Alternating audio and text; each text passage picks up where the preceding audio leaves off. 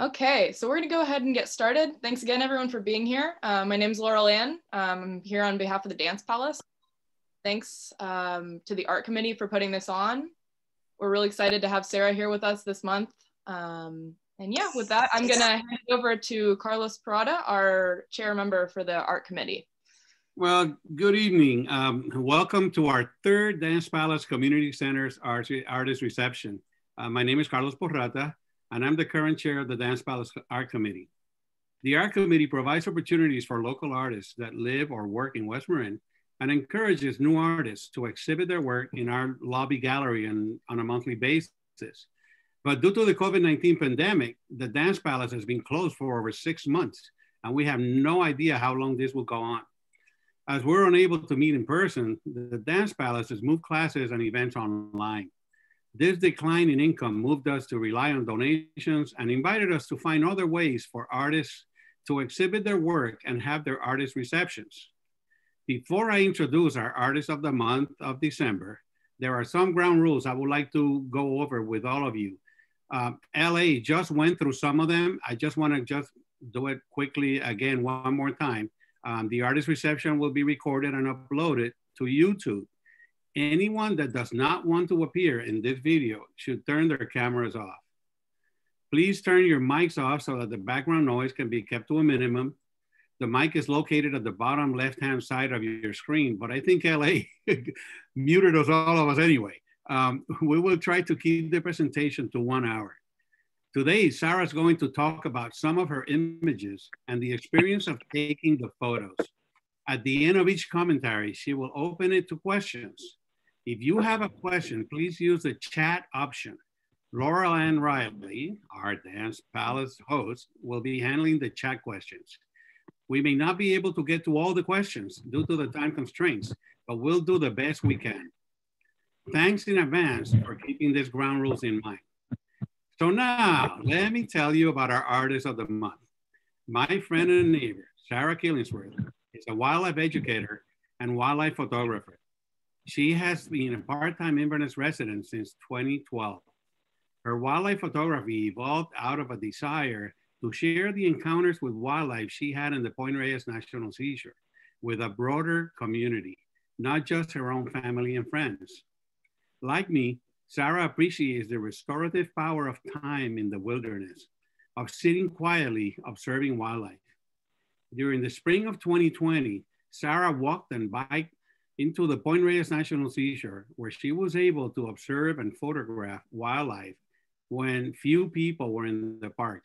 These portraits are a tribute and a testament to that love of wildlife, a quiet communion in the wilderness. Sarah's passionate about education and loves talking about wildlife and sharing her photography with children, always eager to share the magic of wild places. As a wildlife educator, she has done many classroom presentations, as well as webinars and podcasts. In addition to being a wildlife educator with Project Coyote, Sarah is a member of the board of the Environmental Action Committee of West Marin, and she serves on the NANPA Ethics Committee. So without further ado, please join me in welcoming Sarah Killingsworth. You're on, Sarah. All right, thank you, Carlos. And um, I want to start by um, thanking both Carlos and Laurel Ann for all of your hard work in getting this today set up, and also to the Dance Palace for the opportunity to have an online gallery and reception. I am going to share my screen now, so hopefully that's going to work. Okay, did I get a thumbs up? Everyone can see my screen, hopefully. Yeah, great. We're good. Thank you.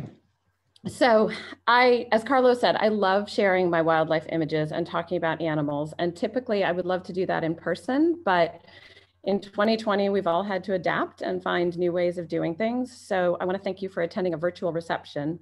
The advantage of doing it this way is that you have your food and beverage of choice at home. You can attend in your sweats or your PJs. And I have some great friends from all across the country who are able to join because we're doing it virtually instead of in person. So thank you all so much for being here. I'm going to talk a little bit about wildlife photography um, and my wildlife photography generally, and then I picked a few of the images in the gallery, and so I'll talk more in detail about those images and how they came about and take questions about them. And then there'll be plenty of time at the end for questions about any of the images in the gallery or anything about my wildlife photography.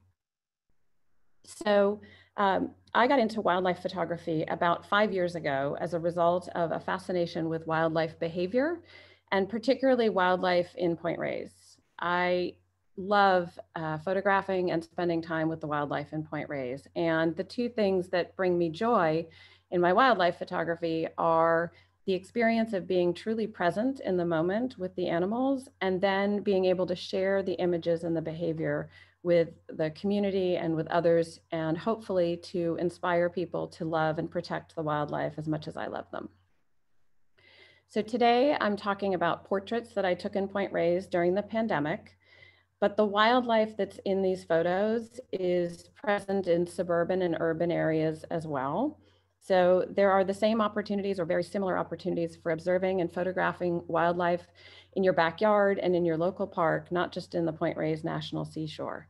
Sometimes the wildlife might be a little bit different, but in the Bay Area, honestly, we have bobcats and osprey in suburban neighborhoods as well, not just the park. I chose portraits for this gallery because I thought the intimacy and the quietness of portraits was a really fitting uh, theme for what's been a very unusual and at times destabilizing year. When I've gone to open studios in the past, which is something I love to do, and I always want to hear about what is the artistic process? What is the creative process that the artist goes through in creating their pieces? For me, that's really um, the best part of getting to to an artist. And how do you create the work? Wildlife photography is a little bit different um, than painting or sculpting because I don't have a studio per se. I don't um, have the same setup that you might have for some of the other arts. And it's really all outside. So the image on the screen is as close perhaps to a studio as I have, other than my laptop when I'm editing photos when I've gotten home. Most of what I do is done outside. And for these photos is all done in Point Reyes. So I thought I could share a little bit about how I create images and uh, generally, and then talk about specific photos. When I'm working on um, wildlife photography or going out to shoot, it's really a combination of wildlife spotting and ob observation techniques, and also then some technical aspects of photography, as well as um, thinking about the creative process and what makes for an image with impact. So I learn something new every time I go out into the park.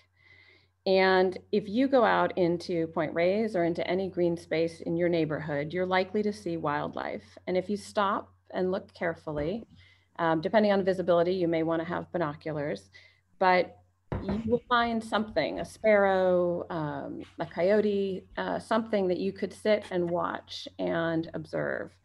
And once I spot an animal when I'm in the field, I don't ever it because if you do, generally you're going to be perceived as a threat and the animal will run or fly away. That's bad for the animal because it's expending energy.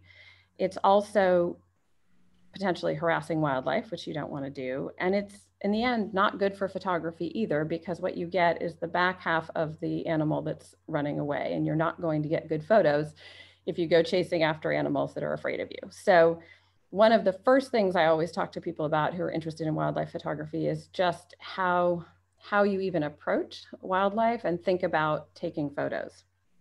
So, really great wildlife photographers study their subjects. They learn how to anticipate an animal's behavior in order to capture stunning images. So knowing the kinds of food they might be hunting, knowing the times of day they're going to be active, the seasons or the types of places where they have their young, all of that will help capture better images and allow you to observe better behavior. For me, a really important part of wildlife photography is being quiet it's showing respect for the animal and the situation and having that internal stillness. It's a lot like a meditation. And I really believe that your energy makes a huge difference in the ability to observe and photograph wildlife. Animals are so attuned to threats that having a calm presence, I think, makes an incredibly large difference in what you're able to see. So once I'm in the field and I've seen an animal, for me, the next step is to assess the light and figure out a spot that's going to have good light on the animal as well as be a good distance away. And again, sitting quietly, generally not moving. Once I've picked a spot, I tend to stay in it. Um, my goal is really to be invisible. I don't want to be seen as a threat and I don't want to attract an animal. I never would call or use bait. Um, I never want to manipulate the animal's behavior in any way. I really want to just be a rock in the field, basically, something small and not noticeable. It requires far more time and patience to take photos that way, but sitting quietly is really the best way to get closer images, but also images of really interesting behavior and animals behaving naturally. So hunting, grooming, sleeping, raising their young, all of those things. Uh, when I talk about the photos themselves, you'll see that it looks like I'm very close in those photos, but I'm shooting with a big lens. And when I do classroom presentations, I actually always bring my camera into the classroom and show the kids the camera and say it's sort of like a telescope. It makes things look much closer than they really are. So uh, that's true for the images in this gallery as well. In talking to Ann and Carlos and prepping for today, um, Carlos and I just started talking about ethics generally. And Laurel Ann mentioned that it was actually really interesting to her to hear about the ethics in wildlife photography. And so I do think that the concept of not manipulating behavior, not using calls, not using bait, not disrupting the animal's natural patterns, not having it use energy that it needs to conserve for survival um, is all really important. And those ethics are important to me. I think that if you go out and your goal is simply to have the animal perform in a certain way or give you a shot that you really want, it's similar and sort of consistent with the view of our land and environment as something that we extract from, that it's something to take, as opposed to seeing ourselves as one piece of a whole of an ecosystem in which everything is interconnected and the health of one thing is connected to the health of everything else. And so for me, that respect is really important um, when I go out in the field. So I'm going to share, before I get into the individual photos, um, I thought it would be fun to have a quick little video of me in the field taking photos with uh, wildlife. So I have a video of me with a coyote, oh, which is now not going to go. Let's see. There we go. Okay, so um, I'm going to hit play on this and then we'll go into the images. But this is a coyote hunting and then you'll see it sniffing the air.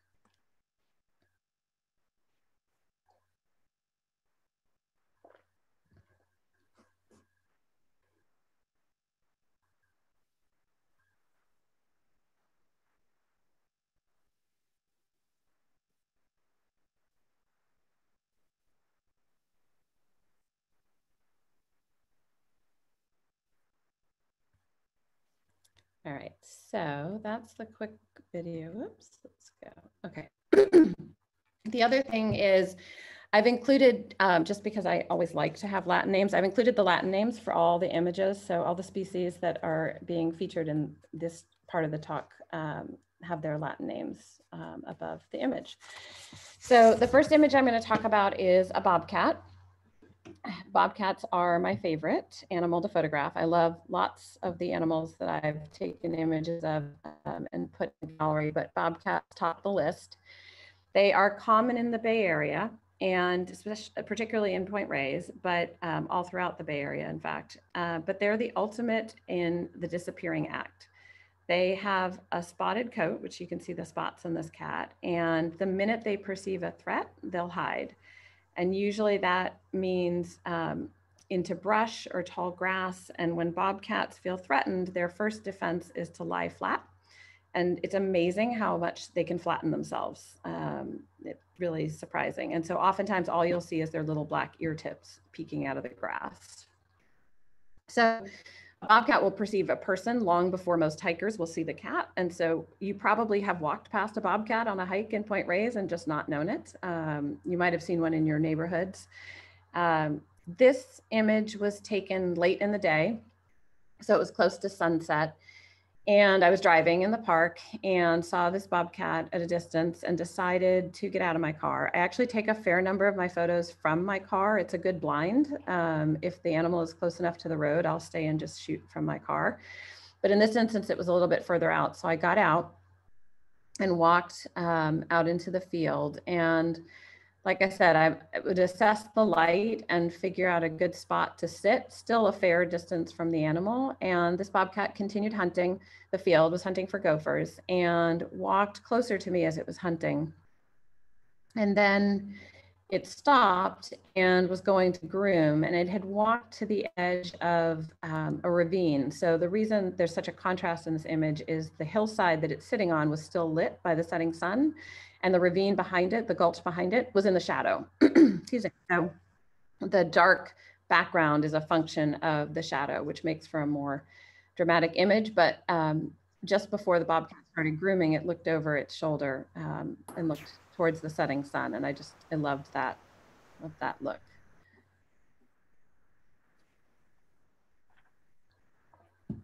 Okay, so um, LA, do we have any questions about that image? Coming in? I don't see any questions, but just as a reminder to folks, if you want to ask questions about anything, uh, feel free to write in the chat. Um, but no, no questions for now. Okay, cool. Then we will move on. Um, okay, so the next image is a peregrine. So this is a peregrine falcon. Um, this is a male. And every spring and summer, I love watching um, the fledgling peregrine falcons learn to fly and hunt. We're really lucky to have several pairs in Point Reyes. Uh, in the 1970s, the peregrine falcon population in California was decimated by DDT and other factors. And so they estimated there were only 40 pairs left in the state. And now they estimate there's more than 400. So there's been a remarkable recovery. And they're really beautiful, incredible birds to watch. Um, in this image, um, there's a seagull carcass on the beach, which is sort of um, blurred out from the sand that was blowing the day that I took this. Um, the mother actually had killed the gull and the fledglings had come and eaten some of it. And then this is uh, the dad coming in to see if he can get uh, some of it as well. When the parents hunt before the fledglings are able to hunt for themselves, they will bring a kill to the nest area and the fledglings will flap their wings and call out loudly. It's a raucous um, kind of situation. And so I often don't see the falcon that's coming in yet before the fledglings are making a scene excited about the incoming food, which prompts me to scan the horizon and look for the incoming food. And usually they're carrying a small bird. And as the fledglings learn to fly, the adult will drop um, the bird to the fledgling in the air. They'll do an air exchange of food, which is super fun to watch. Um, as we were prepping for today, Carlos was asking uh, whether I was going to talk about things that were difficult to photograph. And so this is one of the two photos I have that I will say that peregrine falcons, um, everyone probably knows that they're quite speedy. Uh, they are very difficult to photograph because they move so fast. Um, and especially when you have three or four of them all circling each other and trying to get food from a parent. It's um, an aerial circus moving at, you know, I don't know if it's 100 miles an hour, but it's it's pretty fast. Uh, so it's a tricky thing to photograph. But I love trying to capture them and that behavior. And um, whenever they can come down onto the beach, it's an opportunity to um, get a closer photo like this one, um, which is always really exciting. Okay. I'm going to move on to. I've got a question here in the sure. chat um, from Nate Love saying, great images. What camera slash lens do you use? Oh, that's a great question. Um, so I shoot um, Nikon and I have two, um, two different camera bodies. So some of these are shot on the D500 and some are on the D850. And then um, most of the close-up type images are shot with a fixed 500 millimeter lens, although I sometimes use a fixed 300. Um, so the equipment varies a little bit depending on the image, but that's a, a short version of the answer. All right, any other questions, oh, LA? Well, how about tripod?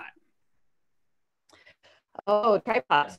Um, so um, I do have a tripod. Um, I use it more for taking um, video clips than I do for still photos. But uh, when it comes to still photos, if the tripod is helpful if what you're taking a picture of is relatively stationary. The issue for me with tripods is the faster the thing you're trying to photograph is moving, the harder it is to keep up with it if it's on a tripod.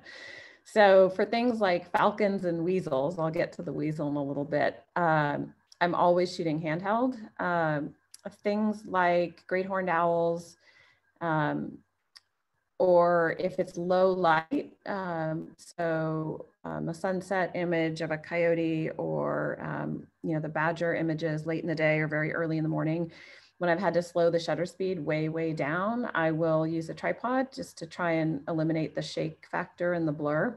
But so much of wildlife photography is a relatively fast moving game that um, the tripod is, it, it just depends on the circumstance. But it is important to have a good one because they're very handy when you need them. Awesome. Okay. And I've got another question here in the chat. Okay um, from Rich Clark asking, can you guess the f-stop and shutter speed of the Falcon shot? Um, usually with a Falcon, I'm shooting at one over 2000 and, or one over 2500, it depends. So this one's probably at one over 2000 and probably an f-stop, if I had to guess, it would be 7.1. Um, so I can check though. Um, okay, any other questions before we move to the next picture? Nope, okay. As far as the chat, it looks like it's it. Okay.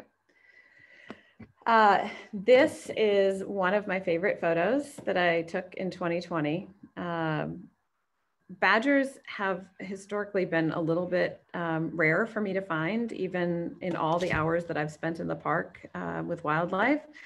Badgers were a rarity. They tend to be active at night, so few people see them.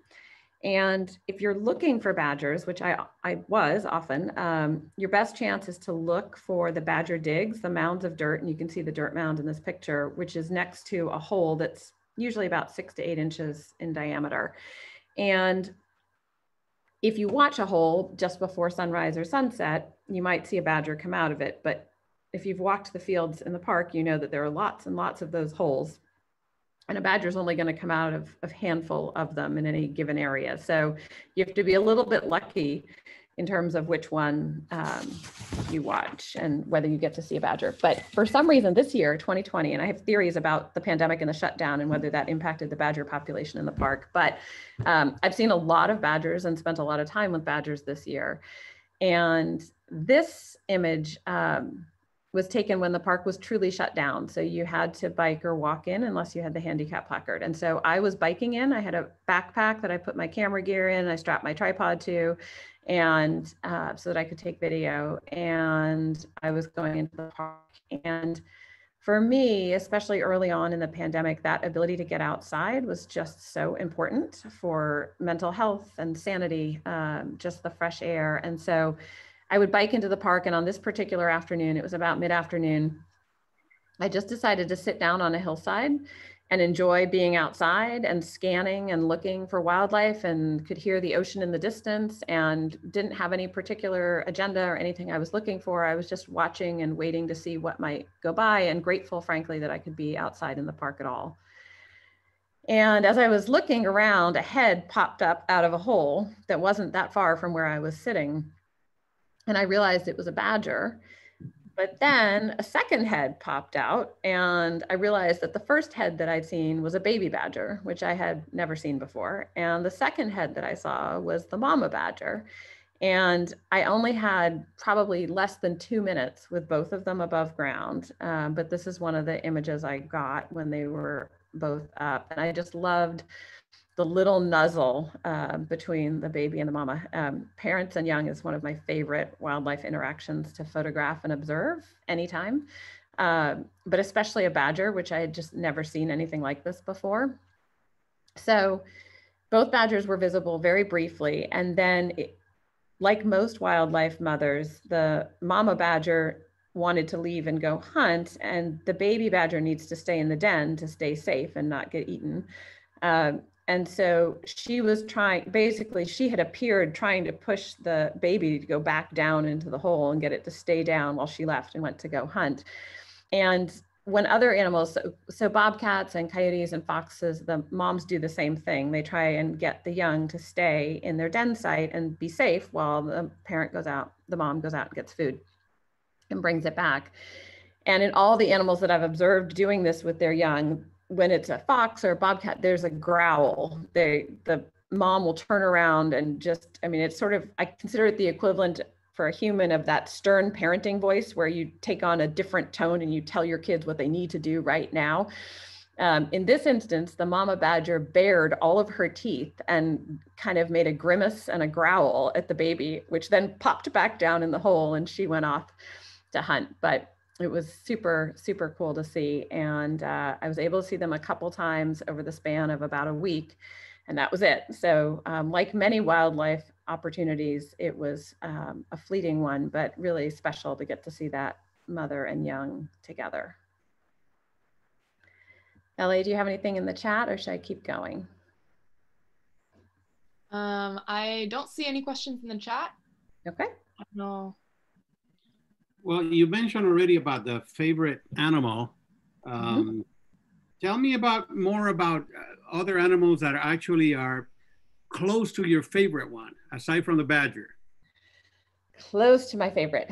Um, so I have an affinity for the predators generally. So bobcats top the list. Gray foxes are probably next, and coyotes. Um, and then it's raptors. I love owls, um, osprey, which is actually, um, I think, the next image, um, the falcons. So, um, but I'm, I, I almost love all of it. I mean, even the badgers and the weasels, I'm excited every time I see them. So there's something wonderful about each of these animals. Yeah. All right, so let's let's go to the osprey. So um, as I just mentioned, I really love watching birds of prey and particularly osprey when they're hunting. Um, the amount of patience, the strategies they employ, and just the physical ability. Um, it's just amazing to watch. And so osprey, if you've ever been out either over a, you know one of the lagoons or um, along the coast, you see an osprey will circle an area looking for fish. And when they spot one, they rocket downwards with their feet outstretched and grab it. And it's just, it's amazing to see. And so once they catch the fish, which this um, osprey has a jack smelt, they will rotate the fish so that the head is facing forward. So it's more aerodynamic when they fly.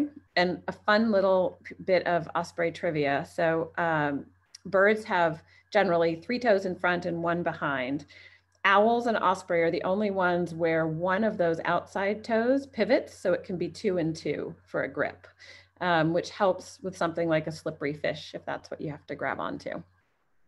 So typically the osprey will then fly in circles until the, um, until the fish is dead and then will land usually on a high, like a post or a tree to eat it. So on this particular day, I was down on the Tomales Bay and I was watching both osprey and terns um, diving repeatedly for the jack smelt. And out of the corner of my eye, I saw something coming towards me low over the water and realized it was this osprey. And so I stopped. I had been shooting a tern sort of in the other direction. So I turned towards the osprey and from a technical standpoint, shooting something that is flying or running directly at you is difficult because the camera has a hard time focusing on something where the focal distance is changing, and especially if that's changing rapidly. So um, I was happy to actually get a few photos that were in focus as this bird came in close. Um, and then in this picture, I love the parallel between the yellow of the osprey eye and the yellow on the jack smelt's little gill area. So that just makes me happy from an artistic standpoint. Um, so that's the osprey. Oh, now that's working again. Okay. So this is another one of my favorite photos from this year. So this is a young coyote, sort of an older pup. Um, and it was just a glorious summer sunset, the kind where the sky turns all different shades of pinks and purples and just beautiful Point Reyes magic. Uh, there's no other word for it.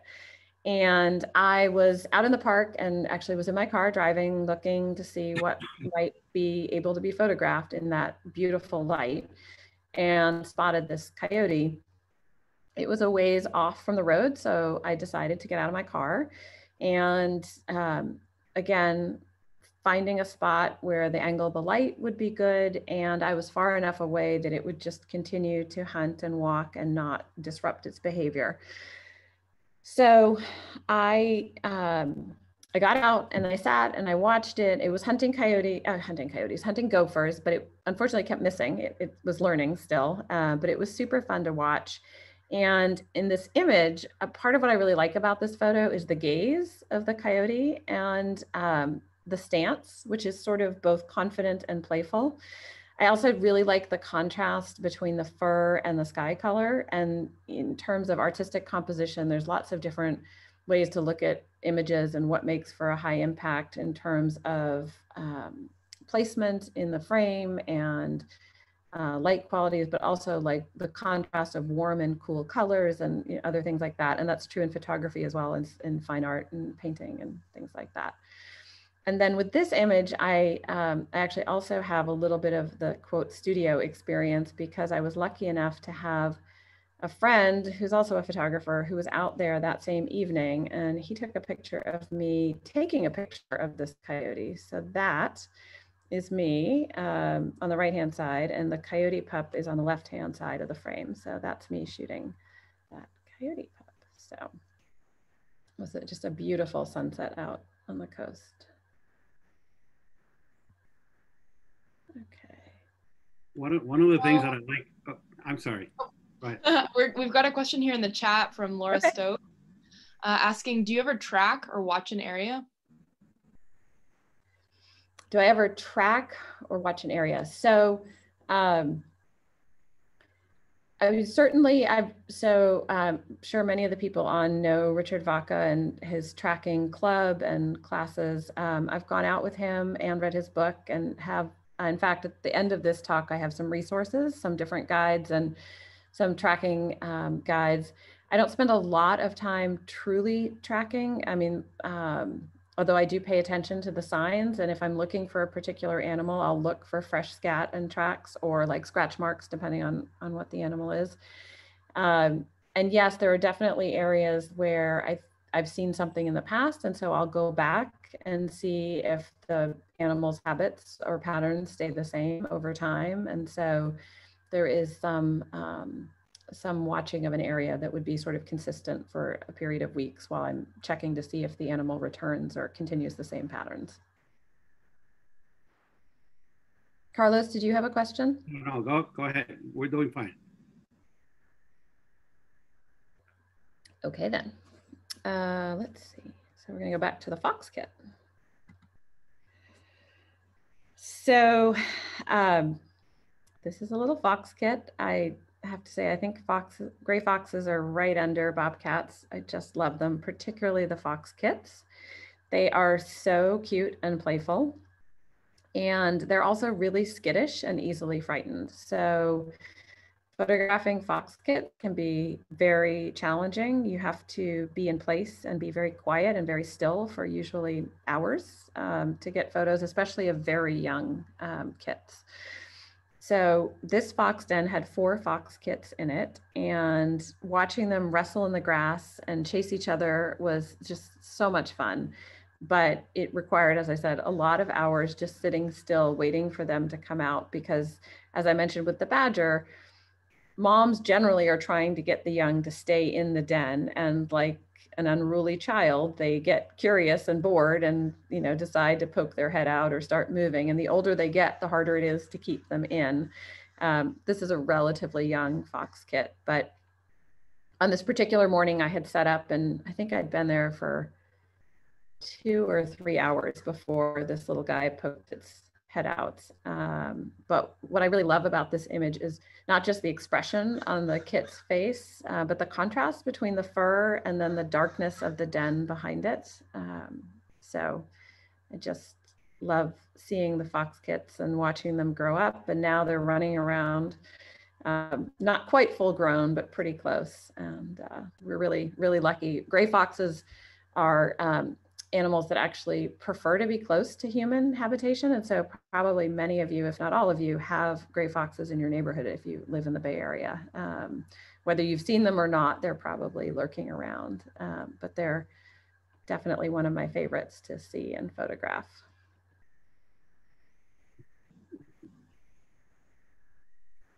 We're getting a question here in the chat from Joanna asking, um, was the den an abandoned pipe? Um, yeah, it is. It's it's like a culvert. Yeah.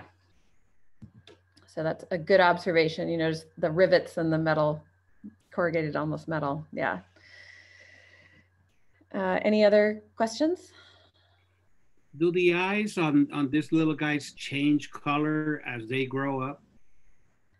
Um, Carlos, that's an excellent question. I don't know. I know bobcat kittens are born with blue eyes that then change and get dark.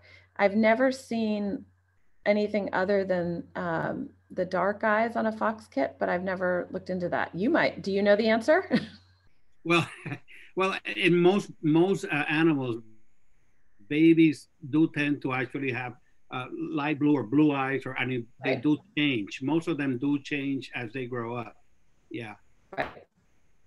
Yeah, I don't. Definitely. I don't they know. Look a little blue. These guys look a little blue, and I don't think it's just the the sky. It's hard to tell. Anyway. Yeah. It, no, you're right. Fascinating they, to see them change. Yeah. No, it's true, and um, I've seen, I've watched bobcat kittens change their eye color. You know, usually five to eight weeks of age, they shift sort of from that blue color into more of a beige. Um, but I, I hadn't paid attention to the fox kit's eye color. But you're right, they do look slightly blue black as opposed to just straight dark. So um, interesting, interesting question. Okay. Um, so uh, now we get to the long-tailed weasel which like peregrine falcons are a challenge to photograph because they really test your reflexes. Weasels are not only fast, but they're really erratic in how they move. And so the long-tailed weasels tend to go down into gopher holes and they'll dive down into one and then pop up out of another, or they'll pop up from one and run across the top of the you know ground and then duck back down in a different hole and it happens so fast and sometimes it's almost like a zigzag as they go through. Uh, so getting photos of long-tailed weasels is another challenge, another high shutter speed um, experience for sure. And I have a lot of photos of long-tailed weasels that only have half the weasel or are out of focus because they're moving so fast. So I'm always really happy when I have a good um, a good weasel image. But they're just so cute with their little teddy bear ears and whiskers. Uh, they're adorable, but they're actually really ferocious um, and strong hunters. And they will generally, so they hunt gophers and then they drag them. And the gophers practically, it's not as long as the weasel, but gophers are much rounder. Um, and so it's really something to watch this skinny, long little weasel dragging a big round gopher um, along the ground. So they're really cool animals. Um, most of the time when I take a weasel photo, it's actually sort of a happy accident in the sense that I've gone out either with nothing in mind or more often I've gone out and seen something else out in a field. So I'm looking, you know, at a bobcat or a burrowing owl or something else to photograph and haven't gone out specifically to find or photograph weasels. And I've been photographing a burrowing owl and turned around and had a weasel 10 feet behind me. And I've gone out to shoot the tule elk and turned to the side, seen a little movement in my peripheral vision and seen a weasel off to the side. So they are um, a little bit of a surprise factor sometimes when I get to shoot them, but um, they always make me smile. They're just really, really fun to shoot. So um, unless we have any questions about that, we can move into the next. Well, I I'd like to add some. I'd like to add something to this particular photo subject. Uh, very recently, okay. very recently, Sarah was uh, uh, uh sent uh, a, one of her photos of a weasel to a contest from in a national level, and actually got uh, on the top 250 photos of a 1,350 photos that were sent. Uh, and I just wanted to actually pat her in the back and give her some kudos on it. Oh, thank you, Carlos. Yeah, that was super exciting. I was really honored by that. Thank you.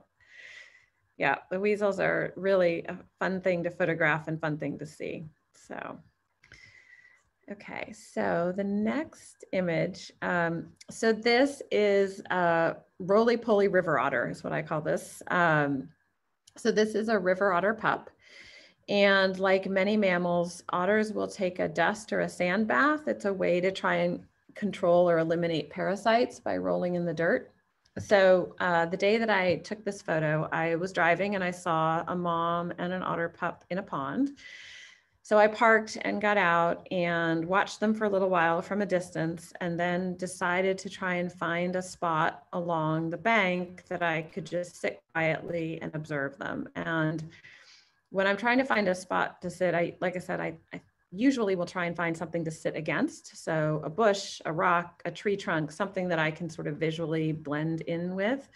Um, in this instance, there was a little bit of a flat bank area and then like almost like a little, oh, it's not really a cliff, but a little bit of a shelf behind it and a little bit of brush. And so I backed myself up against the um, back of the cliff area and next to a bush and just sat and watched. The um, mom and the um, pup were both hunting crayfish in the pond and diving and swimming and occasionally wrestling. And at one point, I was surprised. I looked up and the pup was swimming more or less directly towards me and came up out onto the bank right near where I was sitting and then actually came up higher to literally, as you can tell, he was level with where I was sitting and decided to start rolling in the sandy dirt. And I just loved what happened. The face that you can only really see like the eyes and the nostrils and the whiskers and everything else is just covered in this dirt. I just, it's river otter pups are so playful. Um, they multiple pups they chase each other and wrestle. I mean they're just they're very playful animals. And this little guy rolling around in the sand just again made me smile.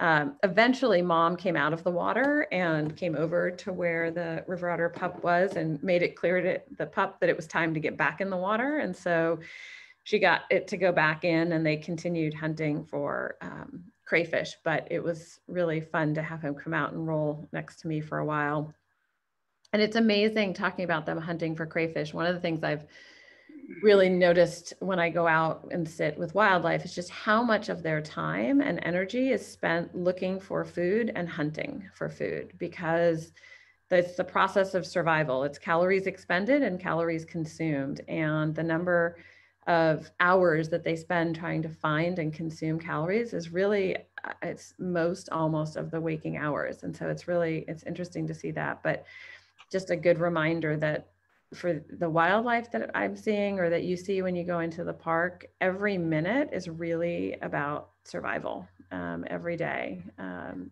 trying to stay alive and make it to the next day and to create another generation. Um, so that's um, that's the uh, river otter pup. So Laurel, and do you have any questions about that? Yeah, there's a question here in the chat um, asking, do you sometimes video things like Fox Kit or uh, OtterPup play? I do. Um, so again, I, I love to learn and I'm still learning. I'm still learning a lot about wildlife. I'm still learning a lot about photography. Um, I would say about a year and a half ago, I started doing more video. Um, it's one of the reasons I carry two camera bodies most of the time so that I can take video on one of the two DSLRs.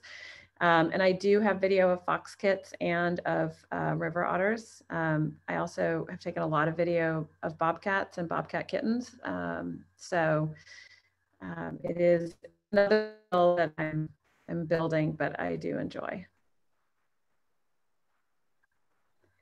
Awesome. And we have we have another um, comment question here in the chat.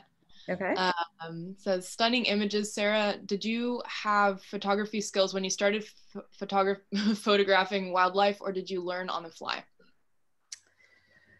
Um, I didn't. No, I really didn't have. I mean, I've I've sort of always liked photography, but I didn't have any classwork, any formal training. You know, was pretty much shooting on auto settings. I mean, it wasn't in any way um, trained in it, and I I'm somebody who tends to, when I focus on something, get pretty determined, and so I really decided to get much more knowledgeable and have spent a lot of time learning about photography. One of the things that's really nice is actually how much is available online. There are some great classes um, and there's some great um, bloggers and um, online journals. And so a combination of you know, taking online classes and reading different guides and materials and then it's always super helpful, any new passion or pursuit, to have mm-hmm. mentors and to have people who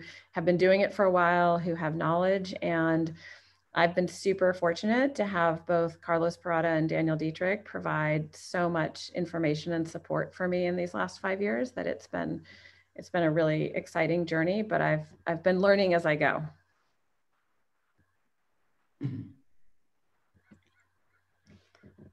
So any other any other questions in the chat, LA?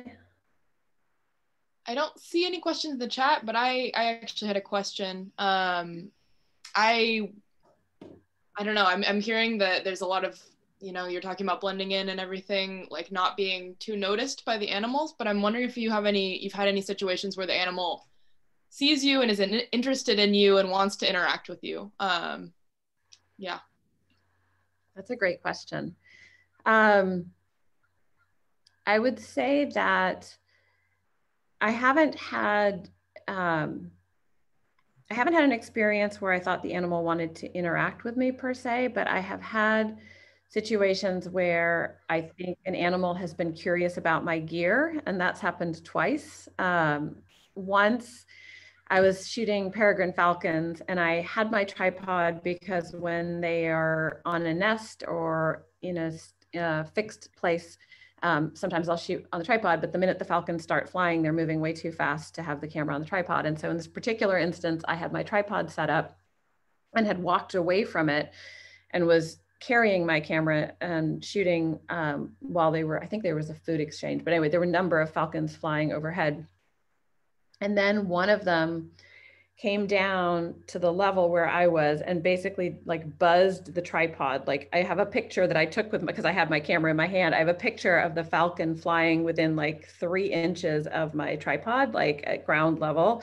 I actually thought it was going to land on the um, the gimbal head I have is kind of like an L shape, so it could almost be shaped like a perch. And for a split second, I thought the falcon was actually going to land on the tripod, which would have been an amazing, funny photo, but it didn't stop. It flew right by it, um, but really in close proximity, which I thought was interesting.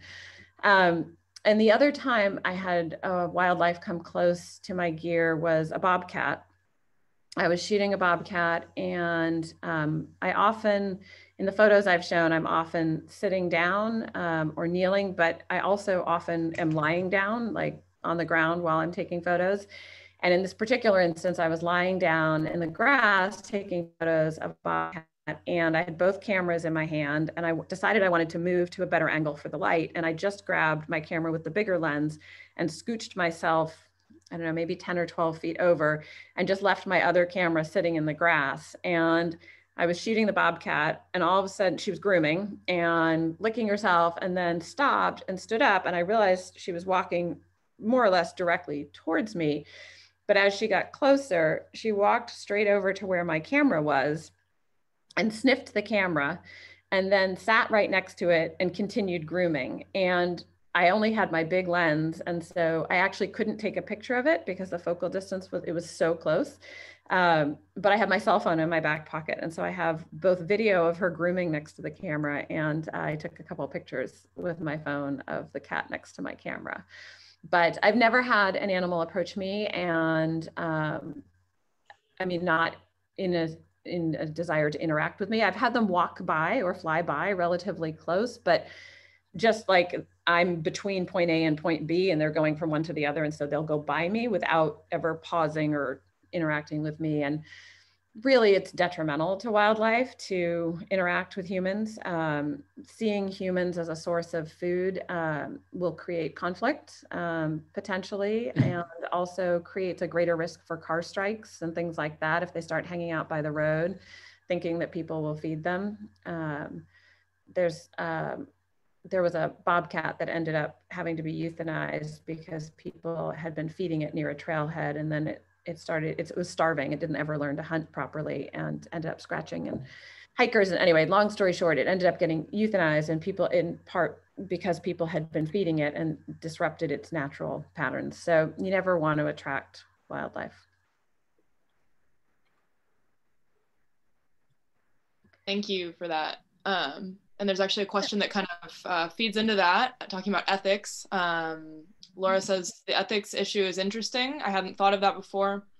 Uh, is there an issue in the profession of baiting and other questionable ethics? And then a follow up would be Are there rules for photography contests and publishing? Um, yes. Um, so um, there are guides. So um, NANPA, the North American Nature Photographers Association, um, does have field guide um, that includes ethics. Um, baiting, generally baiting happens with owls and people buy pet store mice and then sit them on top of the snow and have owls come in. Um, there are also sometimes um, predator situations that people will put out dead things for um, certain predators to come and more or less perform to come eat. but so that's generally not viewed as acceptable. Um, calling is a little bit more of a mixed thing. I think Audubon officially says that a bird call is okay, but only once, and you're not to harass a bird. Um, different contests have different rules um, about what you're allowed to do in order to obtain an image, but there are definitely ethical guidelines for um, different organizations for photographers and for different contests. And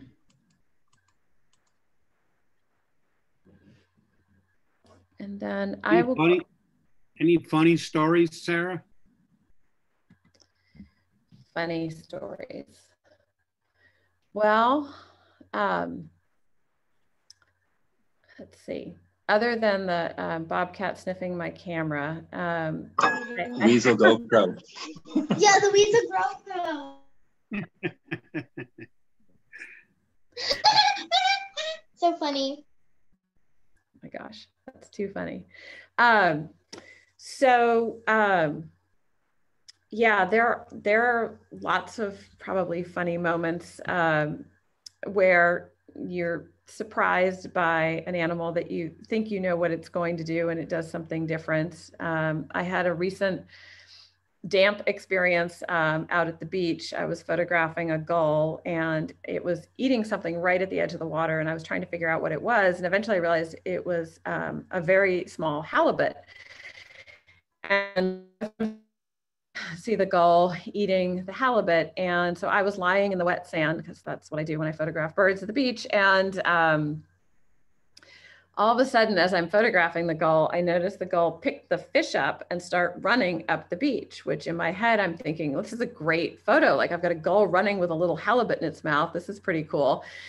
And my normally sort of sharp peripheral vision was not focusing on what was happening around me, nor did I start thinking, why is the gull running up the beach? And the answer was there was a wave that was coming higher up than the prior waves. And lucky for me, I was shooting with, I had my backpack on the ground and my camera on top of my backpack. So when the wave was, and it was low, this was not like a crashing wave. This was just the ebb, you know, just a little bit, you know, probably an inch or two of water. But so when it hit me and the backpack, I jumped up, grabbed my camera and backpack. My shoes were full of water. My jeans were wet. My coat was wet. The iPhone turns out to be waterproof after all, because it was in my coat pocket. Uh, but um, the gear was all dry and that was really all i cared about was that my gear stayed dry. But it was a good reminder that when whatever you're photographing starts running you should probably look and see why. Yeah So um, I do have, I put a slide up on the screen just while we were talking about that, um, in case people are interested in wildlife um, guidebooks or tracks and scat um, guides. These are just some books that I've found really helpful in learning more. And so I thought if people were interested, um, it might be good to have some references. So it's just a quick little reference list about wildlife guides.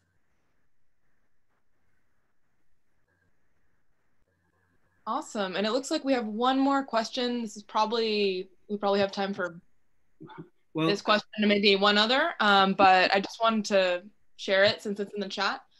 Um, It says, wonderful images. I'm curious if you have a top bucket list animal that you would want to spend time with.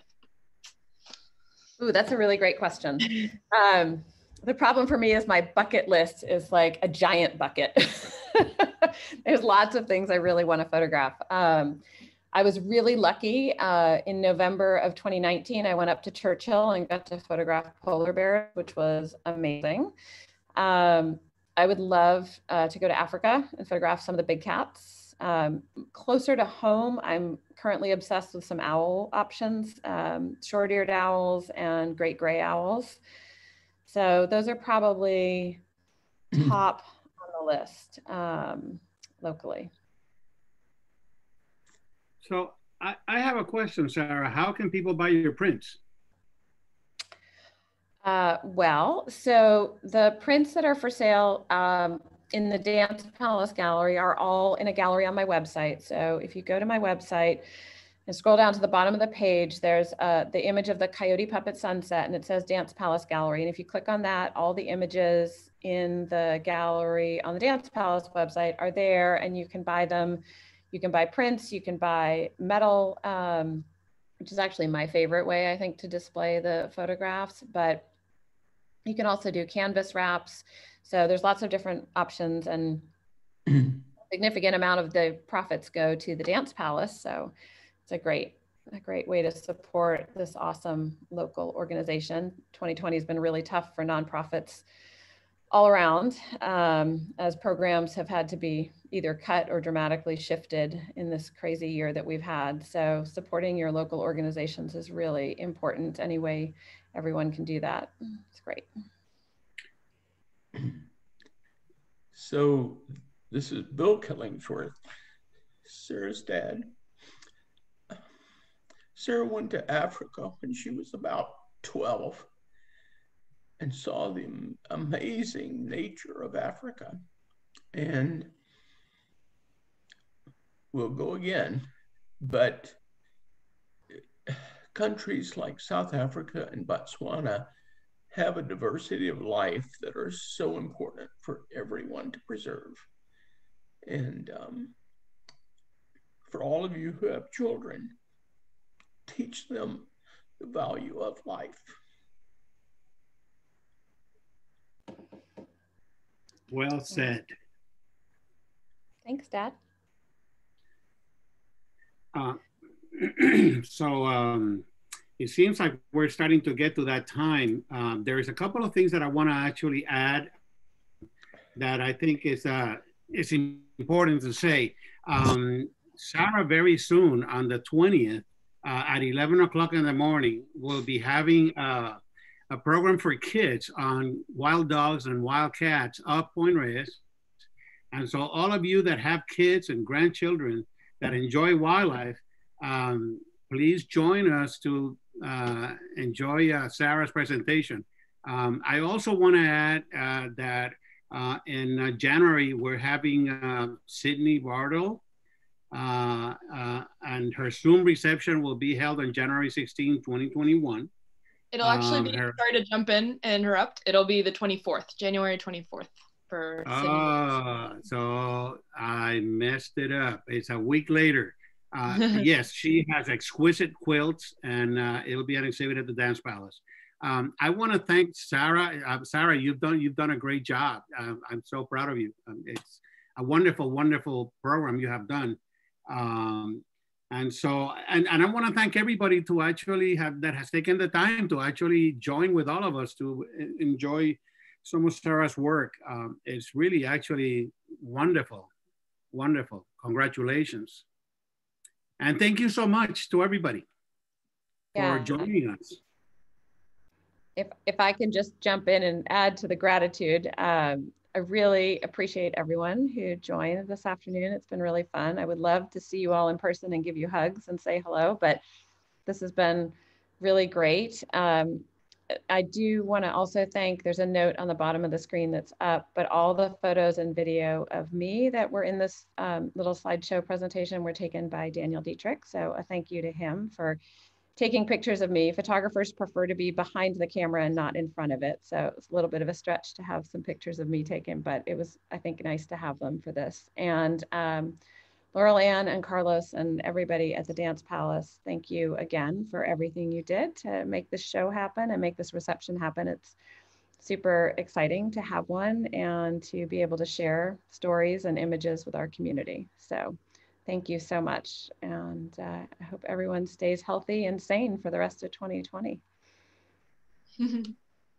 thank you. Thank you, Sarah. And thank you, Carlos. Thank you, everyone, for being here. And thank you uh, once again to the Dance Palace Art Committee.